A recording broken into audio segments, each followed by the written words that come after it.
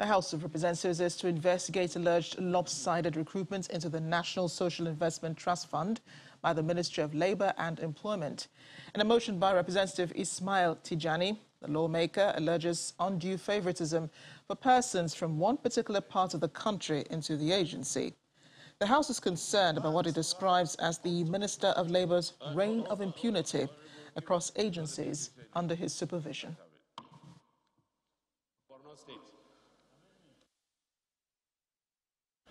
The House note that Nigerian Social Insurance Trust Fund is currently recruiting for the position at management level.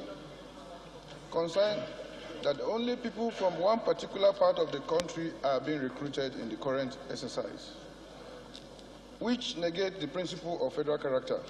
Aware that the Minister of Labour and Productivity has been embroiled in a battle to control the ministry, departments, agencies, including the NSITF, and had been summoned by National Assembly for alleged misdemeanor in 2016 and 2021, respectively.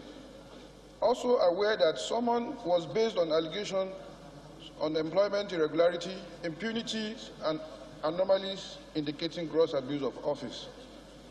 Worried, the current recruitment process at NSITF, which alleged to bias and couldn't negatively affect the promotion of hardworking staff of the organization.